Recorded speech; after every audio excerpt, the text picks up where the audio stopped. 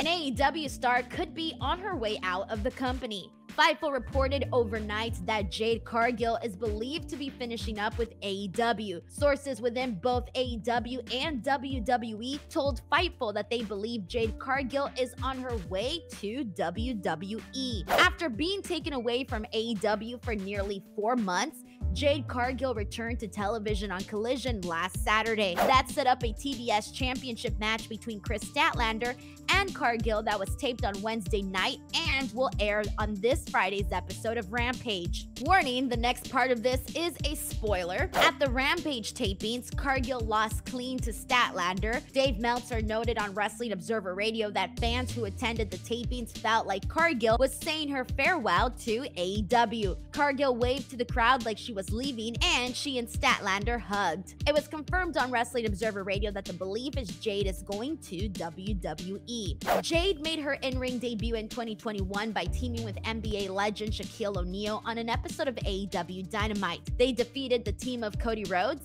and Red Velvet. Jade became AEW's inaugural TBS champion in 2022. She held the title for more than 500 days until losing it to Kris Statlander at Double or Nothing this May. Matt Riddle is reportedly expected back in WWE shortly. Matt Riddle missed Monday's edition of Raw after having been involved in an incident at JFK Airport on Sunday. However, it was later said that Riddle was removed from the show because of an inner ear infection and bronchitis rather than anything to do with what happened at the airport. According to a report from PW Insider, Riddle is expected to return to the company on Monday for Raw. Port Authority officers allege Riddle was disruptive and heavily intoxicated while transferring flights on Sunday. Riddle posted to Instagram accusing one of the officers of sexual assault as well. WWE and the Port Authority are both said to have launched internal investigations into the matter. Four title matches are official for AEW Dynamite Grand Slam on Wednesday, September 20th at Arthur Ashe Stadium in Queens, New York. MJF will defend the AEW World Championship against Grand Slam World Title Eliminator Tournament winner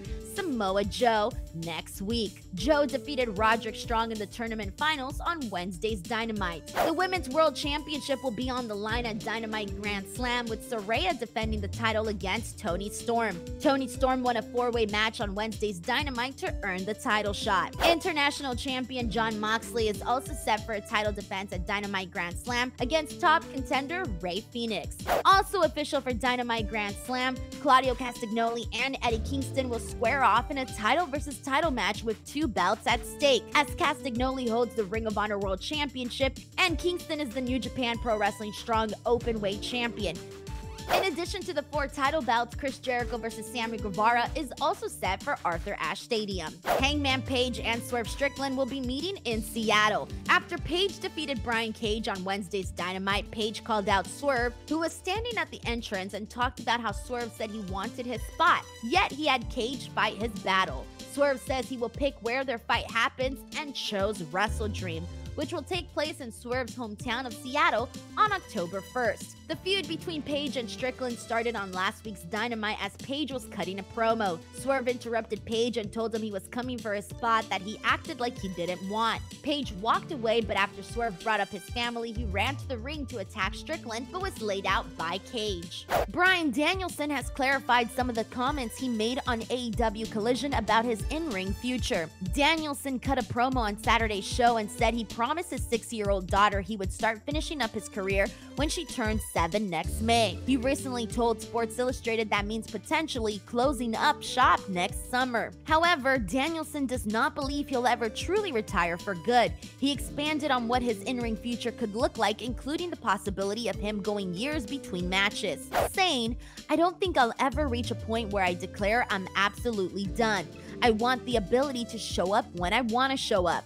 Danielson also noted that his AEW contract expires shortly after his daughter's birthday. There is still much Danielson wants to accomplish with his in ring career. He mentioned missing All In at Wembley Stadium recently and wanting to work at the event next year. Danielson also noted that he always wanted to wrestle for Defy in his hometown as well. Another factor playing into Danielson's decision is the rate of injuries he has suffered as of late, saying, There is a realization that over the past year, I'm getting hurt after every big match I have. That's a sign. I love wrestling, but I do not want to wrestle at the expense of my long term health. I did the Iron Man match with Max, and then I didn't wrestle again until Anarchy in the Arena, and even that was a lot of smoke and mirrors. Then I wrestle Okada and I break my arm. The injuries are starting to pile up. At what point is that worth the risk? Especially when my kids want and need me at home.